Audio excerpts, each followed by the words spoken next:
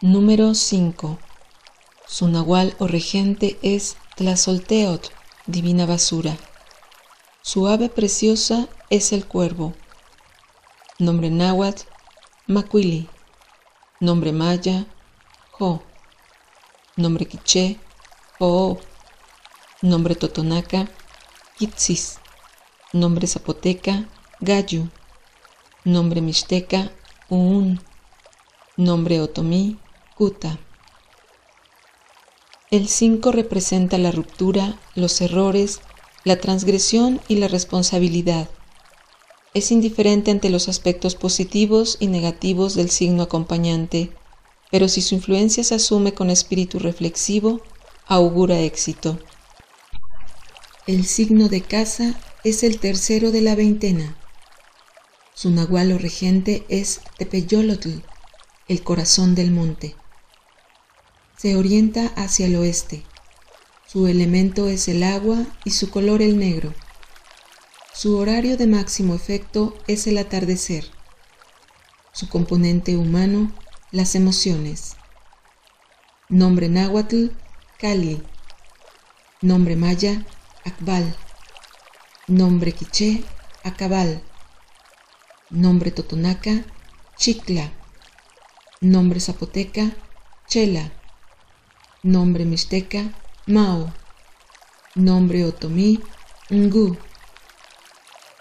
El signo de casa nos representa a nosotros mismos. Su cimiento es la energía vital, su sótano los intestinos, su tejado la mente, sus habitaciones los estados de conciencia, sus ventanas los sentidos, sus puertas las oportunidades, su patio las emociones. En nuestra historia personal, la casa simboliza el tiempo que permanecimos en el vientre materno y las casas en las que hemos vivido. Los días en que rige son apropiados para descansar, meditar, recapitular y arreglar nuestros asuntos. Los nacidos en casa son de naturaleza apacible, introspectiva, reflexiva, serena, servicial y amigable. Su resistencia y solidez les hace aptos para organizar empresas, sostener relaciones, armar un hogar y ofrecer sustento y protección a los demás. Tienen facilidad para la sanación, por lo que pueden ser buenos médicos.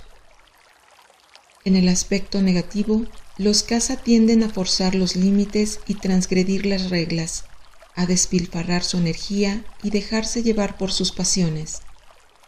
Consejo tolteca.